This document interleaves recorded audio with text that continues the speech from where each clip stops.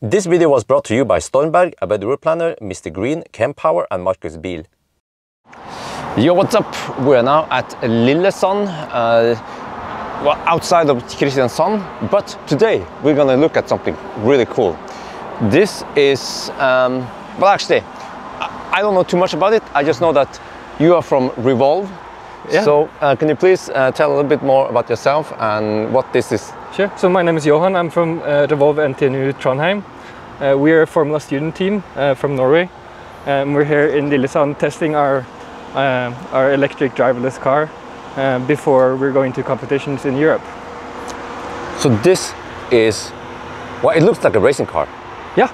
so yeah. so this is like uh, it's inspired by Formula One, and then we're making it for students. Uh, so um, we're a team uh, where we have a driverless project and a, a manual driven project. Um, this is the driverless car um, where we basically make a race car and try to uh, make it drive by itself. Um, so it's an electric car with four motors, one in each uh, wheel hub. Yeah, you can see them here. So they're directly connected. Huh? Yeah. No And then- gearbox. Uh, the gearbox is inside, so it's very tightly packed. Okay. Um, and then there's a computer on the side of the vehicle. Usually it's kind of hidden, but now we're uh, we're just testing, so it's uh, shown outside. Uh, and then uh, in the back we have uh, packed inside the monocoque is uh, the inverter and the accumulator or battery pack. Uh, so we're running. It's about seven kilowatt hours and 600 volt. Uh, so it's a pretty yeah. Uh, there's a lot of power. So the motors then, a quad motor, how much power is it in each motor? Uh, so the the motors can do 21 newton meters torque, uh, and then there's four of them, so uh, that's also quite a lot. And on the wheels, uh, we have a f- about 15 gear ratio, uh, so it's about a thousand newton meters torque in total. Wow. uh, which is uh, quite a lot.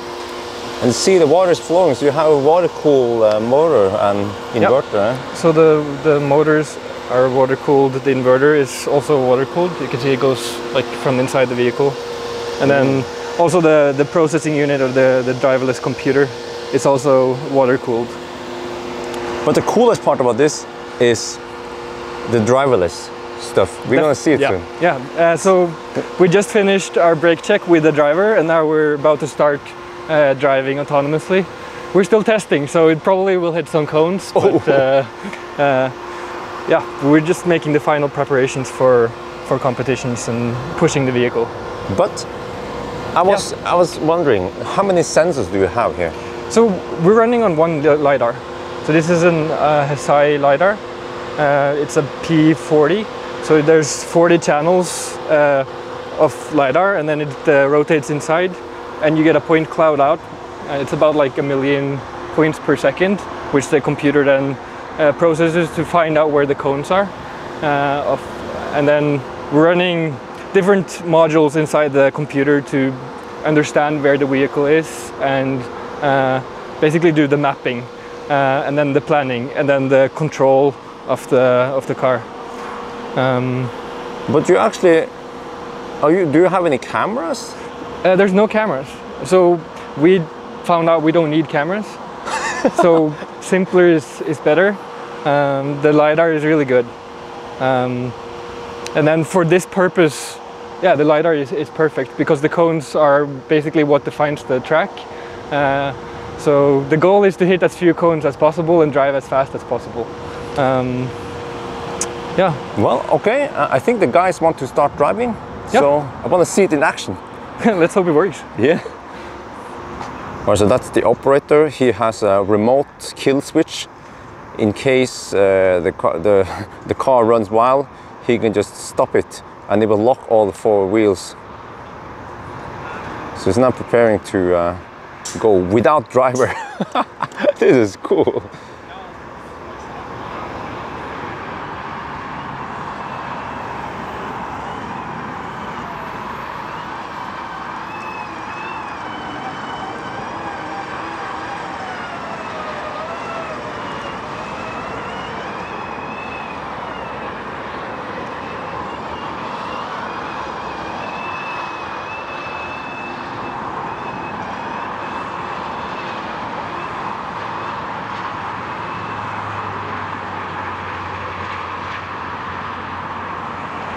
Yeah. So right now we're back in the pit area, kind of. Uh, so they just have to uh, do some changes to parameters on the on the car. So you just connect it to the computer, which is basically a pretty standard gaming computer. Uh, So there, can we look at the screen? What's going on over there? Uh, I think so. Yeah, so right now you're seeing the basically live LiDAR point cloud map. Oh, if you stand in front of the, can we see if uh, someone is moving in front of the? So if I'm Hey, aha. moving in front, Try to understand which. Okay.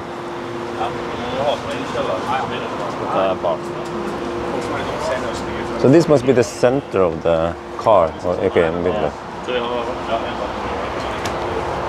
No camera, only lidar. Interesting.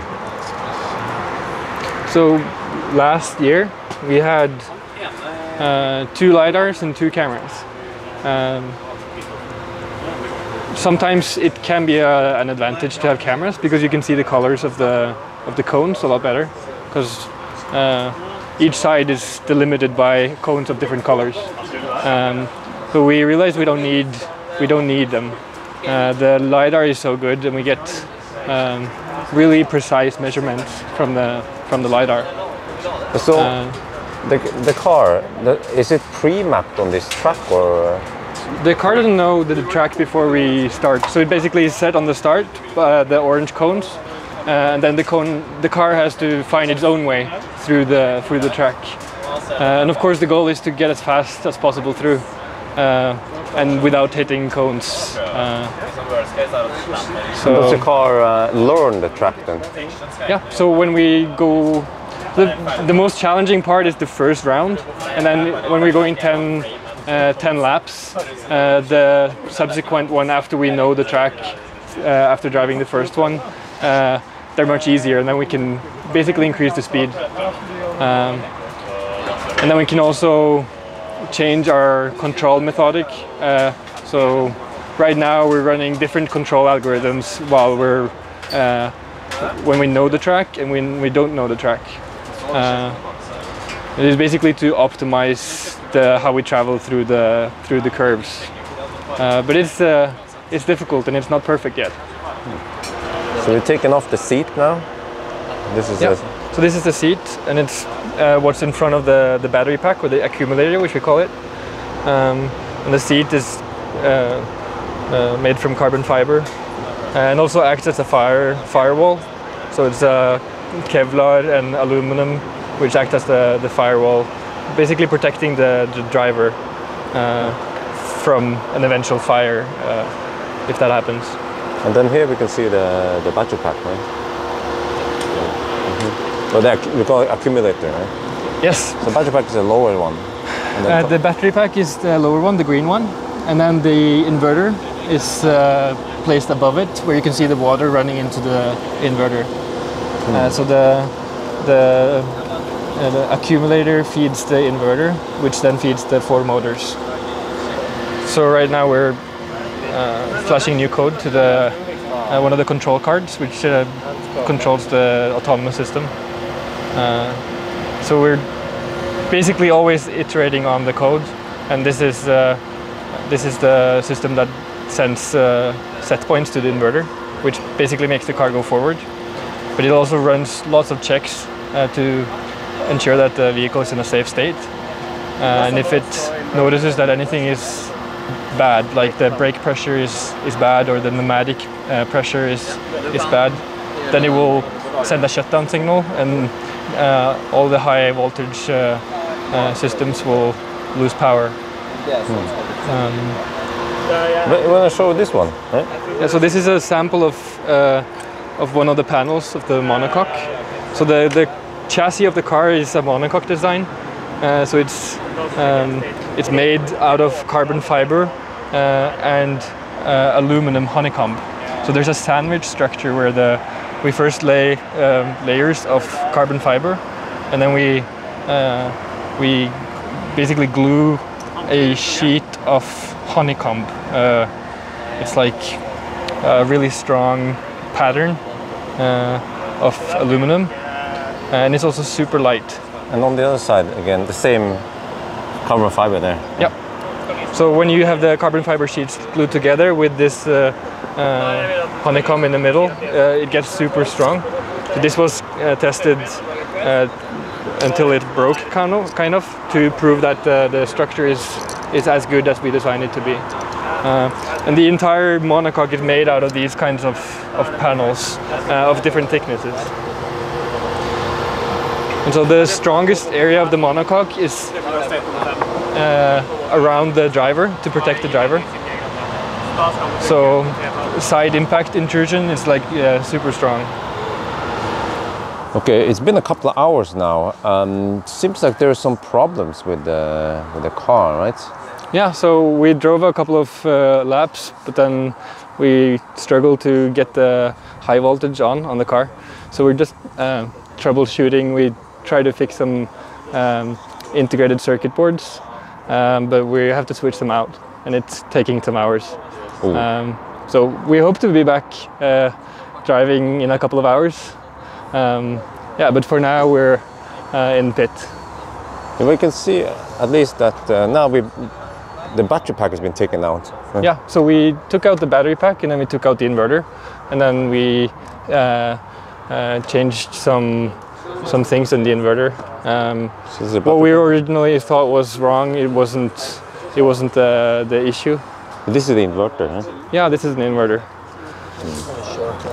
Um, so it's one of the safety critical systems that kind of uh, didn't want to play. Uh, so uh, it's it's good that the safety features work when when they do, um, but uh, they're important to fix before we can continue driving. Well, but unfortunately, um, I have to drive back home now. Uh, I, I, this is around three, four hours away from home, so it's going to be late if I stay here too long. Yeah, it was really cool that you came, uh, and uh, yeah, hopefully you can come visit us in Trondheim uh, when you come by sometime. Yes, absolutely. So you guys have also another car, what is a newer version or something, right? Yeah, so, so this car was made originally in uh, 2018, and then we've iterated on it and put the driverless uh, equipment to, to make it autonomous. Uh, but every year we make a new uh, car that's uh, driven manually. So our uh, other project is now in Hungary, and they're meeting us up in Germany to participate in the in the German Formula Student competition. So hopefully uh, things will go good uh, next week when we compete there. Yeah, so you also go into the competition, right? Yeah.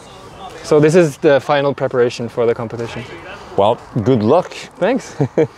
So, anyway, uh, if you guys are interested, uh, we should maybe check out the other car also. Maybe I should go to Trondheim. So, yeah, let me know what you think and if you like this or not. Unfortunately, we didn't see too much driving, but at least we saw, we've seen the car and you saw a little bit, of, uh, well, one lap until it crashed into one of the cones. Uh, but that happens all the time, right? Or- yeah, hopefully uh, when it's perfect it won't hit any cones, but uh, for now there's some cones. Hmm. Interesting. Yes, so anyway, I think that's going to be it for now. Hope you guys enjoyed this video. As always, thank you for watching and talk to you later.